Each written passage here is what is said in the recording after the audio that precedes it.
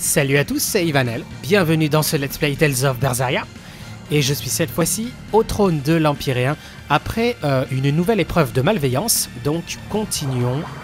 À partir de là, à partir de là, un boss encore une fois. Donc on va cuisiner un truc, mais je vais passer, je vais remettre la difficulté en en difficile. Ouais, on verra bien par la suite. Parce que c'est vrai que c'est de plus en plus dur, hein, bien évidemment. La salade de grosses patates, ok, je l'avais déjà faite. euh, voilà, cuisine auto. Donc euh, normalement, il n'y a pas de souci. Euh, un petit changement, Velvet Rokuro. Euh, ah ouais, je sais. Aizen, tu vas te mettre là. Comme ça, on va faire Changement sur Rokuro et je vais faire l'art mystique combiné avec Aizen.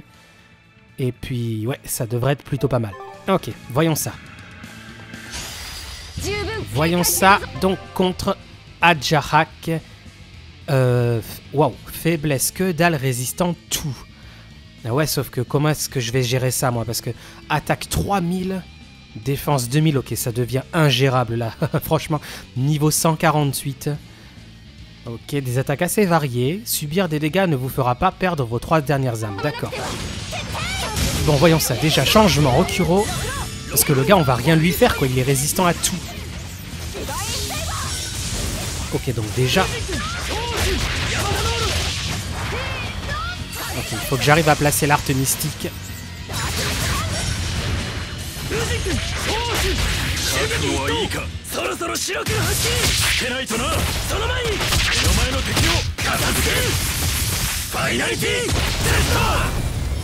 Ok, déjà ça c'est fait.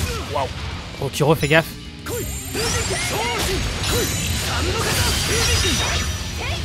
Ok, je vais continuer un peu avec lui. Voyons voir où est-ce qu'on peut Jusqu'où est-ce qu'on peut aller. Euh, En fait, j'arrive à le toucher avec les arts mystiques, mais mis à part ça, on lui fait presque rien.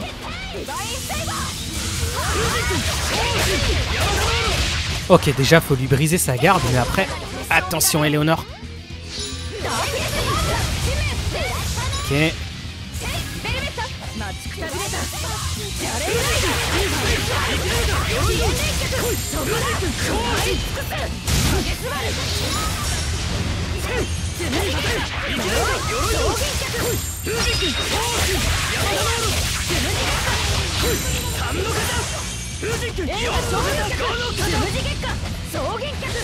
Ok, euh, je vais reprendre Velvet peut-être.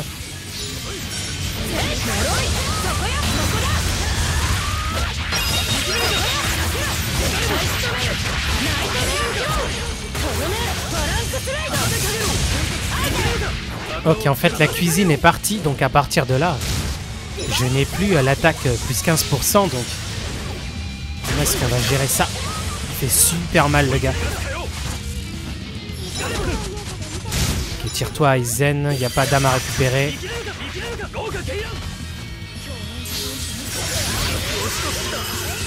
Ok, Rokuro c'est fini. Euh, comme ça je récupère ses âmes, hein, tant qu'à faire. Ok, c'est parti.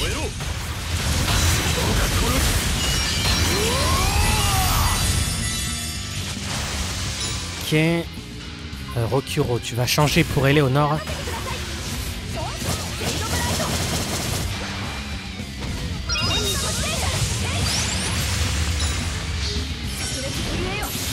Ok, attention à la magie et la ficette. Tiens.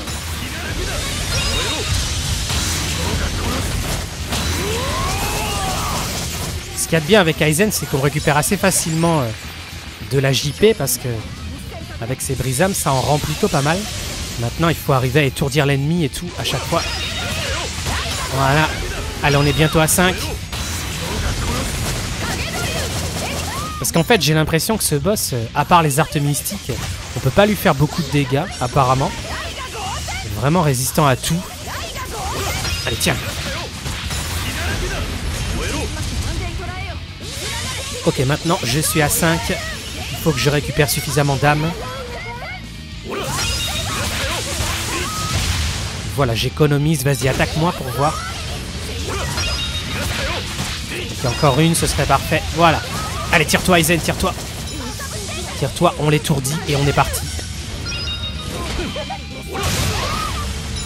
Waouh, j'ai eu chaud là. Hmm. Attention.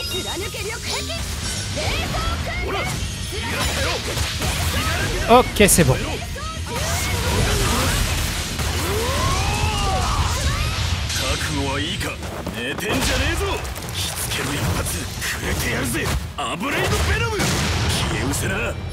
Ok, là il a pris cher, sérieux. Euh, ok, donc comment est-ce qu'on va continuer? Voyons voir Aizen. Il faut qu'il récupère de la JP, mais bon. Hop.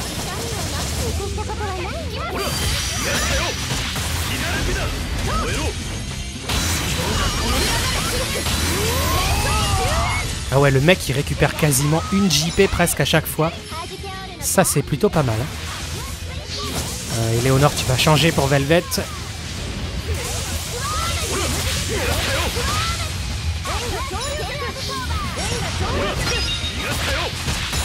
Ok, Aizen, la même. Voilà.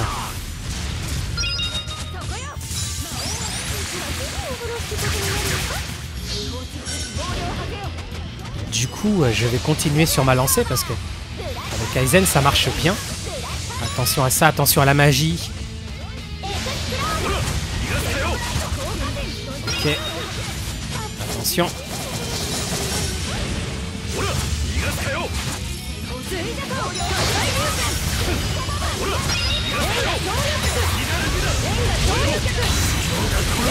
Ok, c'est bon.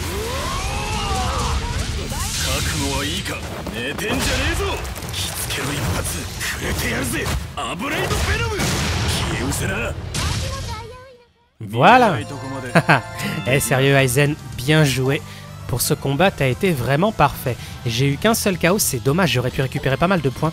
En tout cas, pas mal de maîtrise, pas mal d'expérience. Ok, ensuite, acérite d'alchimiste. Double le montant de matériaux reçus en démantelant de l'équipement ayant été amélioré au-delà du niveau 1. Ah mais ça c'est génial ça. C'est tellement utile dans ce donjon pour l'amélioration. J'aurais dû recevoir ça dès le début, ça aurait été mieux.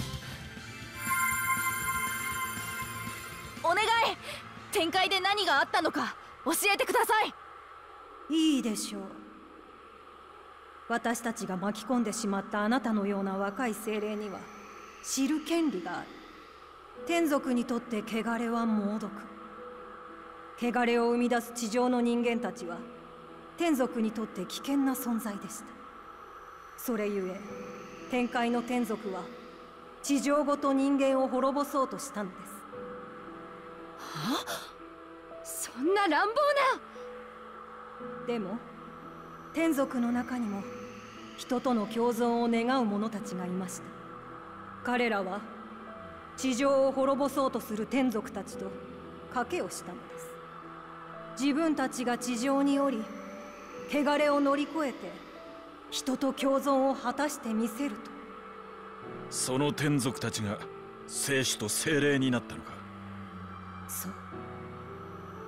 彼らの夢が実現した時天界の門は開かれ人間と天族天界と地上は一つになる天界との間にそういう制約が結ばれたのです。けどその夢は数万年経っても果たせてないわけね。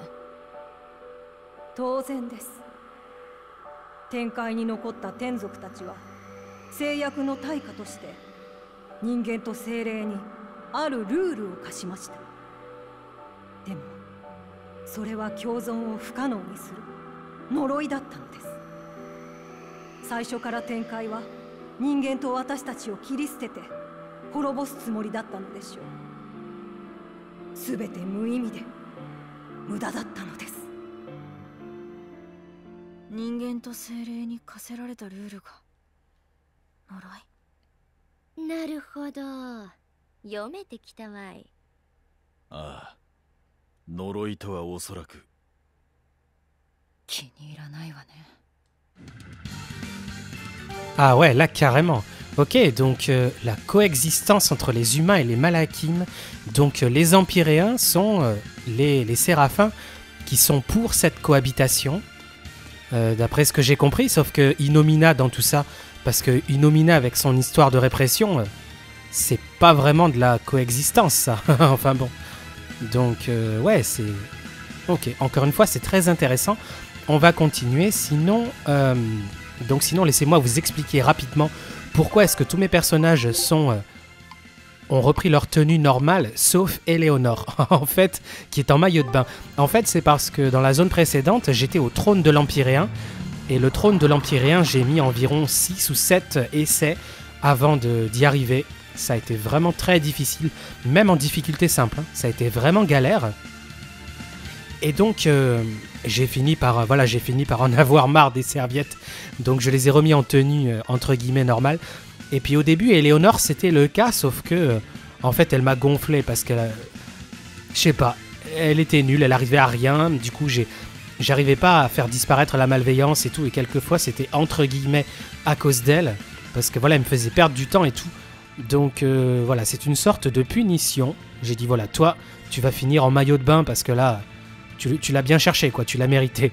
Du coup, c'est pour ça qu'elle est en maillot de bain. Donc je vais changer tout ça, bien évidemment. Mais euh, en fait, c'est entièrement de ma faute parce que. C'est entièrement de ma faute parce que Eleonore, actuellement, elle a une arme qui ne donne absolument pas de force physique. Donc euh, voilà, la raison pour laquelle elle n'était pas efficace, bah, c'est clairement de ma faute. Donc à partir de là, la pauvre, elle a pris pour rien. Mais voilà, c'est comme ça. Donc c'est pour ça qu'elle était en maillot de bain et c'était la seule. sinon, on est reparti sur les serviettes et on va peut-être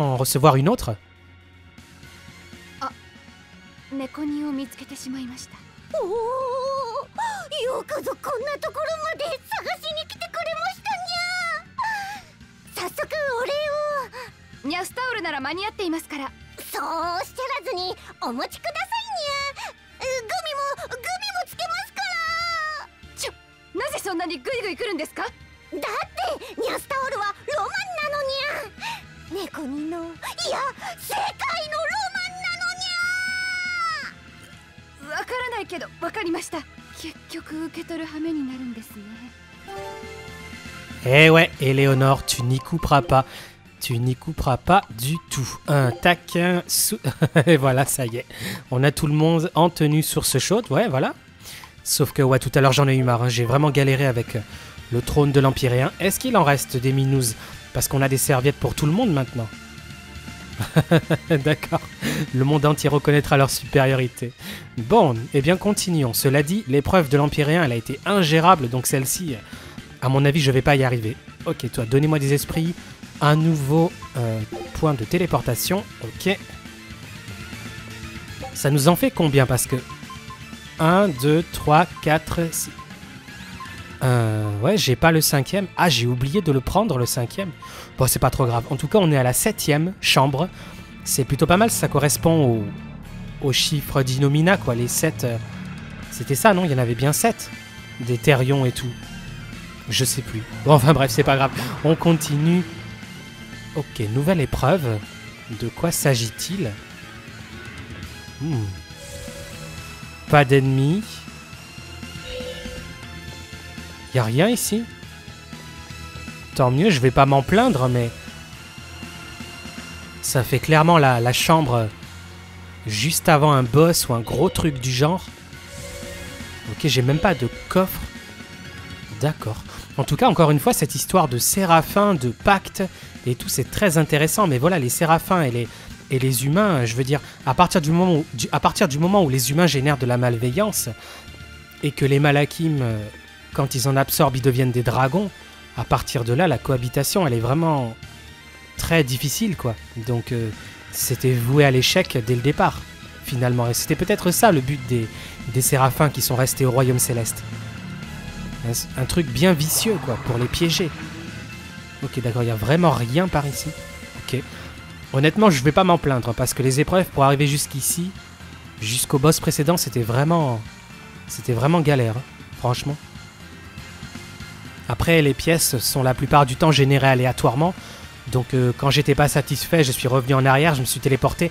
Et en, retournant ici, euh, j'essayais de faire en sorte d'avoir des salles un peu plus faciles.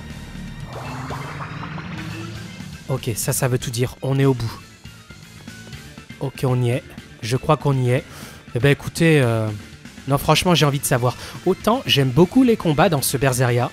Je pense que tout au long de ce let's play, j'espère que ça s'est vu un minimum parce que j'aime beaucoup les combats, le système de combat. Autant là pour ce post-game, j'ai plutôt envie de connaître euh, le fin mot de l'histoire, quoi, plus que les combats. Donc euh, on y va, quoi. On y va. Si c'est trop difficile, je vais baisser de, niveau de difficulté.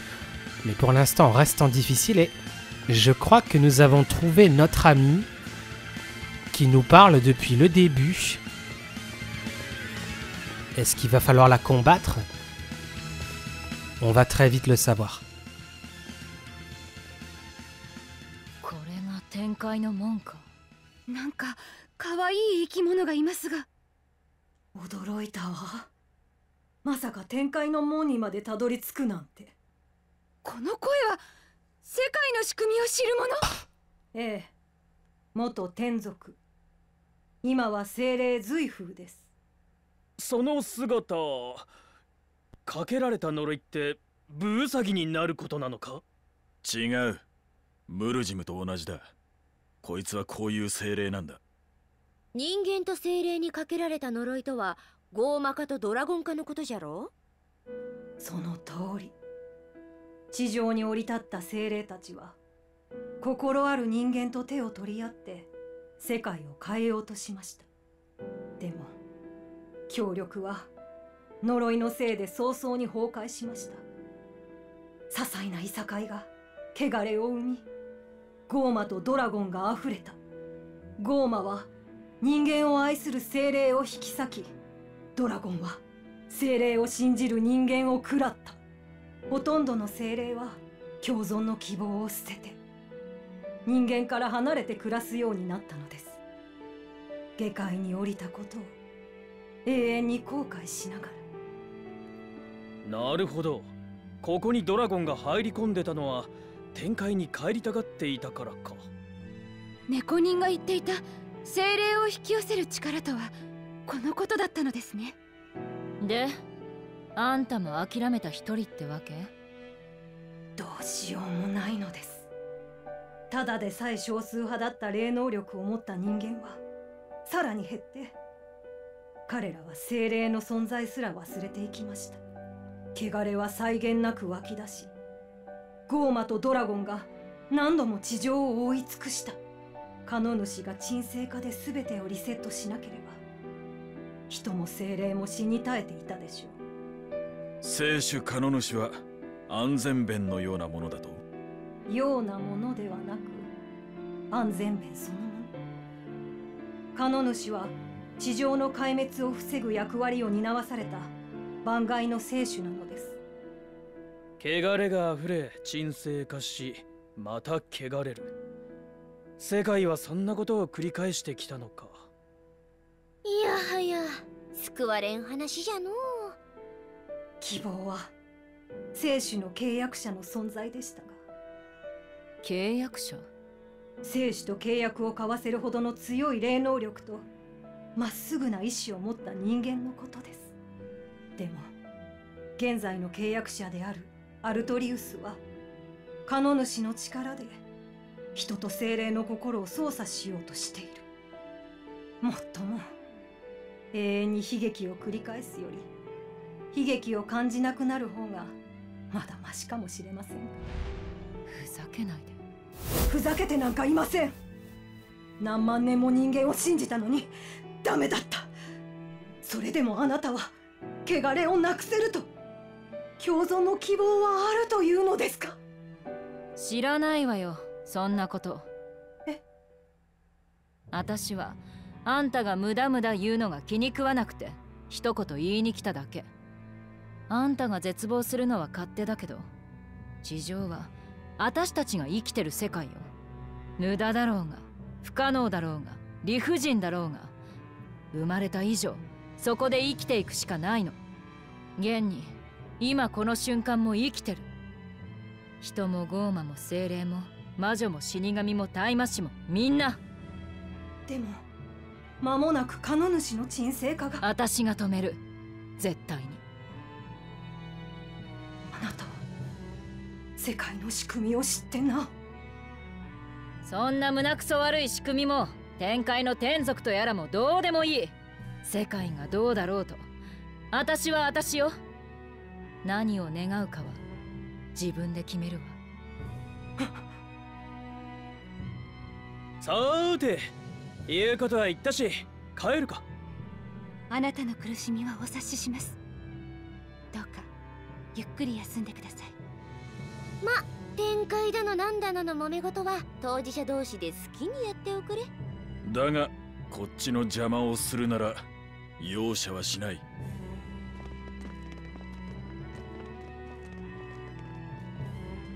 Non mais je rêve. うん怖くて勝手で。変な人たちだよ。でも僕はみんながみんなが生きてる世界が嫌いじゃないんだ。何万年後にもあなたがドラゴンになっても同じことが言えるかしら？それはわからない。けど言えるように一生懸命生きてみるよ。こんな精霊と人間たちがいたなんて。まだ希望は残っているのかもしれないわね。前来あなたが信じているように。人間と精霊 天族はいつか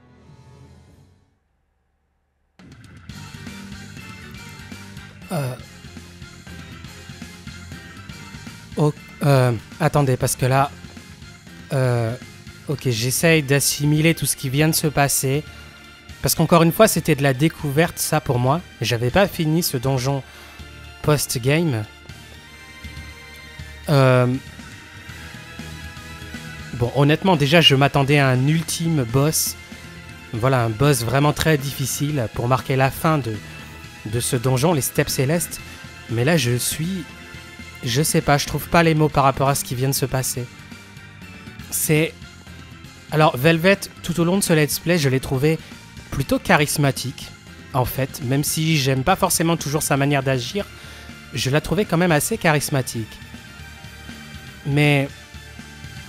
Mais là. Ah non, ah non, là c'est la déception absolue. Velvet, tu as été non, là tu mérites des claques. Tu as été nul sur ce coup. Tu as été. Non mais franchement, sérieux, qu'est-ce que. Je sais pas, je trouve même pas les mots. Velvet, non seulement le problème n'a pas été résolu, et puis on sait que le problème ne peut pas être résolu à cette époque, et il sera même pas résolu dans Zestiria, puisque voilà, si vous savez comment Zestiria se finit, c'est ça ne résout rien. Enfin, c'est pas que ça résout rien, mais disons que voilà, la, la calamité est vaincue, certes, mais c'est pas comme si le cycle de malveillance et tout ça était complètement éradiqué. Donc même dans Zestiria, on ne trouve pas de solution. Et donc là, en fait, euh, voilà, elle nous parle d'une coexistence, comme quoi ça n'a pas pu marcher. Et l'autre, qu'est-ce qu'elle vient l'ouvrir avec son histoire de je suis moi, patati patata, je m'en fiche de vos histoires et tout. Mais on te parle, elle nous dit voilà, nous devons vivre notre vie, machin, mais on te parle pas de où tu dois vivre ta vie, on est en train de te parler d'un problème de coexistence entre deux peuples. Qu'est-ce que tu vas nous parler de, de, de, la façon dont tu dois vivre ta vie, c'est notre monde, machin. Mais justement, votre monde actuellement, il y, a des, y a des démons, il y a des dragons, des machins, et elle en a rien à carrer. Encore une fois, ça fait partie un petit peu du, du personnage, voilà. Le personnage qui suit ses propres intérêts, Vraiment, voilà, le seigneur des calamités, égoïste, comme c'est pas possible. Donc, encore une fois, on est dans l'idée du personnage, mais j'avoue, honnêtement, j'avoue, j'avais espéré un tout petit changement sur la fin, où Velvet pourrait éventuellement euh, voir un petit peu plus euh, large, quoi. Voir le monde. Euh, ne pas rester dans sa bulle complètement, quoi. Et là. Ah non, je suis très déçu, là, de toi, Velvet. En tant qu'héroïne, Sérieux, tu me déçois. Je me plaignais de, de comme quoi il était trop pur et que c'était. Ça m'avait pas trop plu dans Zestiria. Mais finalement, là, je suis en train de penser que c'était peut-être pas si mal en fait. Parce que Soray était vraiment digne du pouvoir du berger et digne de faire un pacte avec un empyréen. Et Velvet, on est sur l'opposé, le seigneur des calamités, sauf que là, non, franchement, je suis très déçu du personnage là. Je sais, c'est une réaction un petit peu à chaud, donc peut-être que je devrais prendre ça avec un peu plus de recul. Mais ce final, c'était. C'était tellement décevant. Sauf pour une personne, la ficette. Qui à la fin, j'adore parce qu'en fait, la ficette à la fin, il reste devant la, la Malakim là. une espèce de l'apport. il reste devant elle et puis il regarde les autres s'en aller avec une expression genre euh, Mais pourquoi vous avez dit ça et tout? On a vraiment l'impression que la ficette il est limite choqué quoi par, par tout ce qui se passe. Donc franchement, la ficette, merci à toi. Tu es vraiment tu es vraiment génial dans ce jeu. Je suis pas trop fan de, sa tenue et tout, mais niveau personnalité, niveau évolution, euh, merci à toi, sérieux. Ouais, tu es vraiment digne de devenir euh, Mautellus, le grand Mautellus. Parce que là, sérieux, Velvet, euh, t'as été nul, nul à chier. Non, excusez-moi, je suis vulgaire, mais franchement, il faut dire ce qui est. Je n'aime pas du tout ce dénouement. Du coup, qu'est-ce qui se passe si je reviens en haut?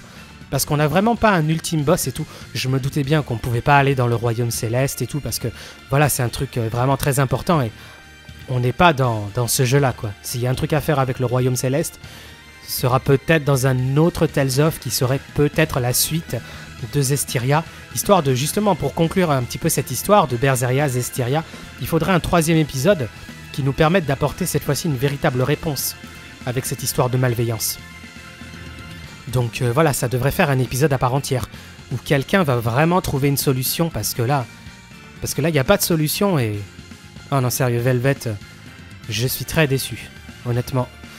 Bon, alors parlons au dernier Minous. 来てくれてありがとうにゃお礼に私が見つけた癒しの銭湯にご招待するにゃおう癒しの銭湯体の細胞の一辺まで完璧にリフレッシュするスーパースパなのにゃ 思わず魂が抜け出てしまうほどの驚きの癒し効果を保証しますにゃ。スーパースパ。ニャスタオルはこのために。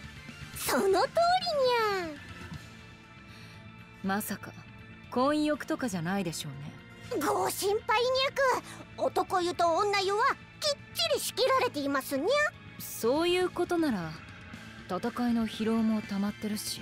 うん驚きの効果と聞いてはいかねばなるまいて。決戦を前に裸の付き合いで絆を深めるのも悪くない。僕銭湯なんて初めてだ。きっとお肌がゆで卵くらいすべすべになりますよ。湯上がりに一杯ってのもいいな。この旅の門に入れば一気に銭湯に飛べるにゃ。いつでもどうぞにゃ Ok, très bien, voilà notre ultime récompense. Eh bien, on va y aller, hein, bien évidemment. Sauf que là, oh non, sérieux, je repense encore une fois à la conversation qu'on a eue tout à l'heure, sérieux, non mais... Encore une fois, c'est vraiment le coup de gueule, là, sérieux, Velvet, mais...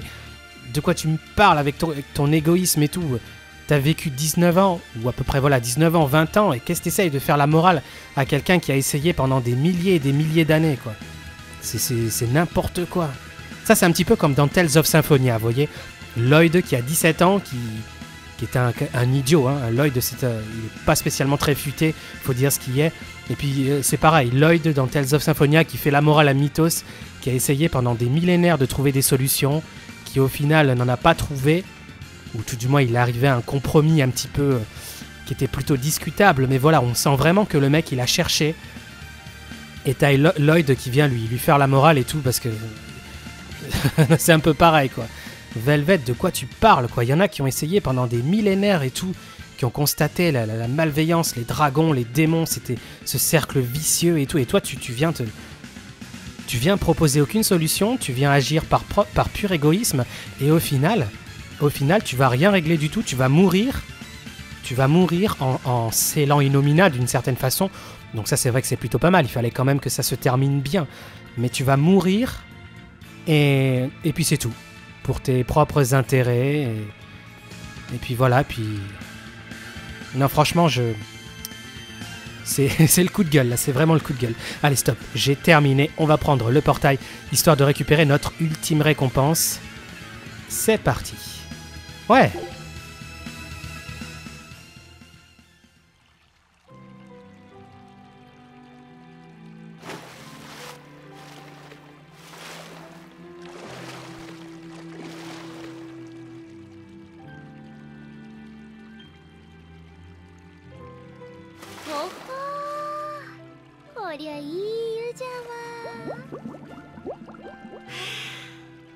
気持ちいいですね。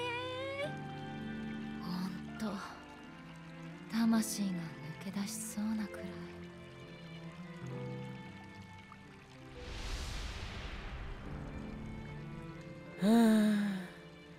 戦いの傷が消えていくようです。じゃのう。選出も見事じゃし湯量も湯加減も文句のつけようがないわい。体が。バチャバチャするでないわベルベット。マナー違反じゃぞ。そうじゃなくて足がつかないのよ。って私の体がフィーになってる？ああ私も六郎に何なのこの筋肉。わしも憧れてたくらい背が高くなっとる。どうなっとるんじゃこりゃ。この銭湯のスペシャル効果にゃあまりの気持ちよさに魂が抜け出て体が入れ替わってしまうことがあるのにゃ。む。鼻炎風も猫人と入れ替わっておる。ということは私たちの体は？Génial. Excellent, sérieux. うーんややこしいことになったなううん。どうしよう。胸に浮き輪をつけてるみたい。アイゼンこれもお前のせいか？こんなバカバカしい死神の力があるか。大方猫人の悪ふざけだろう。さすがアイゼン。落ち着いてるね。この程度は慣れている。昔妹をよく風呂に入れてやったからな。おそうなんだ。まとりあえずいいか。湯加減は最高だしな。いいわけないでしょ六郎。今すぐ目をつぶってください。大声出すなよエレノア。お前の体なかなか動きやすいぞ。多少尻が重いが何を言ってるんですか？ちょ立たないでよ。エレノア。まさか。ずっとこのままということはあるまいの？心配ないにゃ銭湯から出れば元に戻るにゃ。じゃあ全員さっさと出るわよ。ややこしすぎて疲れる。一ついいか？さっきから猫人が俺たちを凝視してるんだが。中身は鼻炎風よ。一発殴っておいて。承知。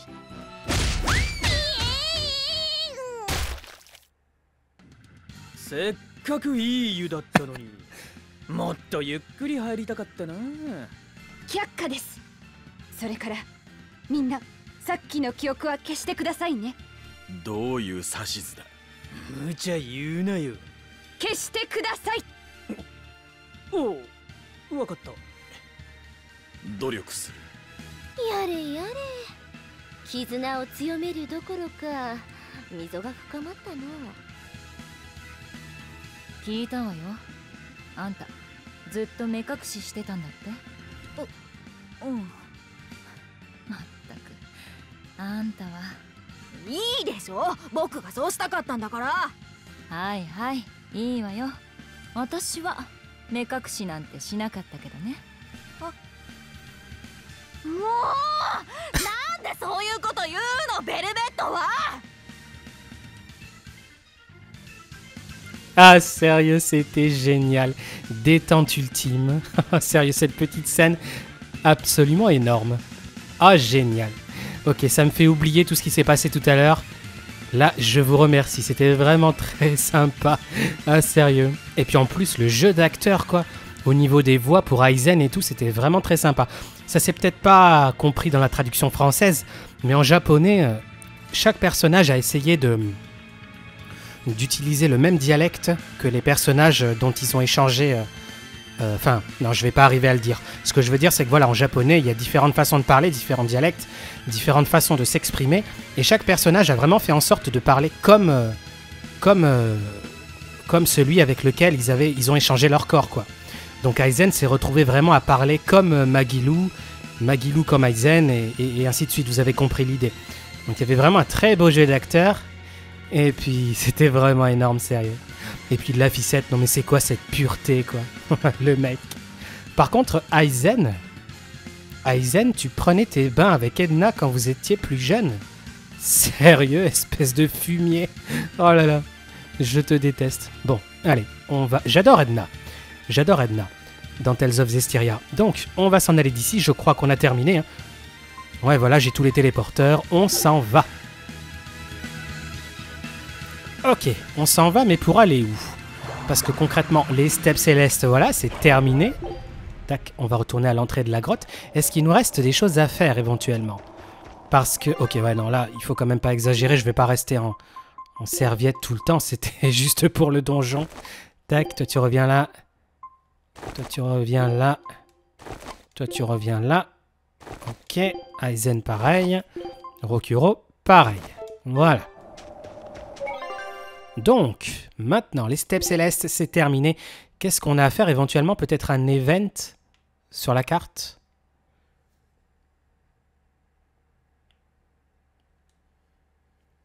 Ok, apparemment non.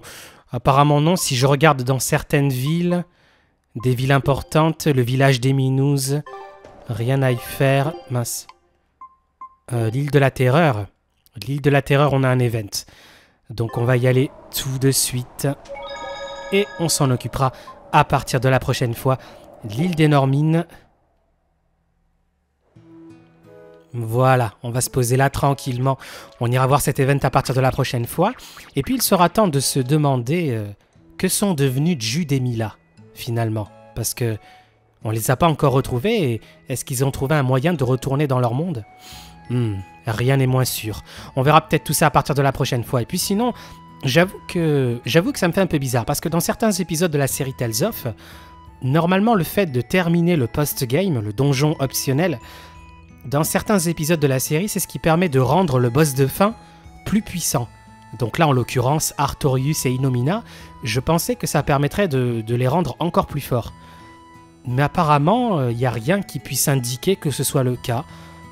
Donc euh, bon, on verra bien. Au pire, j'essaierai hors caméra d'aller voir si je vais les recombattre. Est-ce qu'ils sont devenus plus forts? Mais peut-être. Peut-être hors caméra, je sais pas trop.